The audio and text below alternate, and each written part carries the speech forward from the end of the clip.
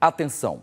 Começou hoje a entrega da declaração do imposto de renda. Então, você já pode baixar o programa aí no seu computador, é, pode é, preencher e a Nayara vai trazer para a gente as informações. Nayara, eu queria começar por um detalhe que muitas pessoas estão confundindo. A, a Receita está fornecendo a declaração pré-preenchida, ou seja, já vem com várias informações.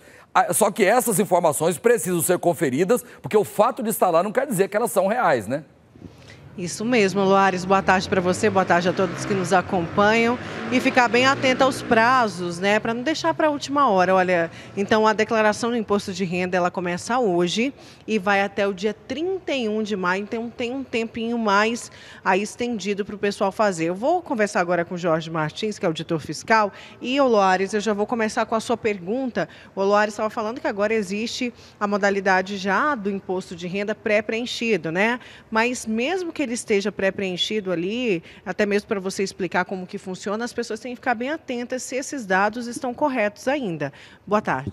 Boa tarde, boa tarde a todos. Pois é, na verdade, a declaração pré-preenchida já existe, né, mas ela está melhorando a cada ano. Né? Então, a novidade que nós temos para esse ano é que você pode importar a sua a declaração pré-preenchida e pode também autorizar terceiros a fazer a declaração pré-preenchida. Lembrando que essa declaração pré-preenchida, ela vem com muitas informações, normalmente você tem aí em torno de 80% a 90% dela já pronta, mas a obrigação é do contribuinte verificar se esses dados estão corretos realmente, porque são dados, informações de terceiros que a Receita Federal pega, então o contribuinte tem que verificar e, se for o caso, homologar essas informações antes de enviar a declaração para a Receita Federal. Agora, quem precisa declarar o imposto de renda? Está obrigado a declarar imposto de renda a pessoa física residente no Brasil que no ano passado se enquadrou em pelo menos uma das seguintes situações. Recebeu rendimentos tributáveis superiores a R$ 28.559,70, recebeu rendimentos isentos ou tributados exclusivamente na fonte superiores a 40 mil reais, se ele tinha um patrimônio acima de 300 mil reais, e uma novidade para esse ano, porque no ano passado, independentemente do valor que ele aplicasse no mercado de ações, ele estava obrigado a declarar.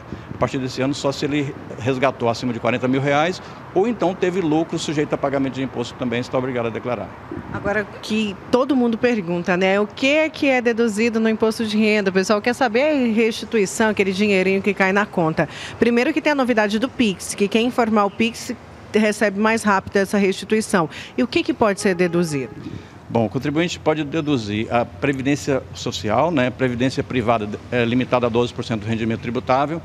Ele pode deduzir as despesas é, com profissionais de saúde, é, plano de saúde, clínicas, hospitais, deduz, é, educação também, limitada a, a, a R$ 3.561. Ele pode também deduzir a, a, é, pensão alimentícia desde que seja homologado por, pelo direito de família. Agora, Jorge, muita gente, né, às vezes não guarda essas notas, teve uma despesa médica alta, não guardou. Essas pessoas têm o direito, e, e se exigirem, elas têm o direito de ter novamente essa nota fiscal exigida por, por uma clínica ou uma unidade de saúde? Olha, o contribuinte sempre tem direito, né? porque a, a, obrigação é do profissional, do, do, do, hospital ou da clínica, oferecer essa nota fiscal para o contribuinte. Então, a qualquer momento, ele tem o direito de, de eh, ter acesso a esse documento para ele poder declarar e deduzir essas despesas no, no, imposto de renda. Agora, sobre a declaração, essa modalidade pré-preenchida que a gente falou no início, ela está disponível ali na plataforma? Como que as pessoas fazem? É só entrar no site da Receita, aí tem ali algum, né, um botão para clicar já no pré-preenchido, ou então para preencher?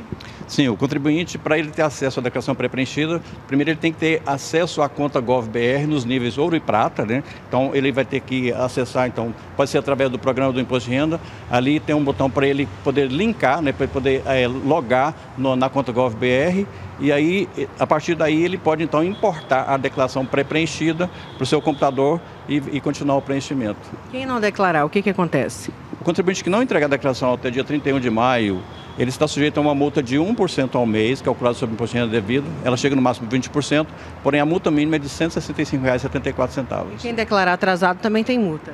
Sim, o contribuinte que entrega, declarar atrasado tem multa. E se ele não entregar a declaração, ele vai ficar com o CPF pendente de regularização junto à Receita Federal. Tá Obrigada, viu, Jorge, pelas suas informações.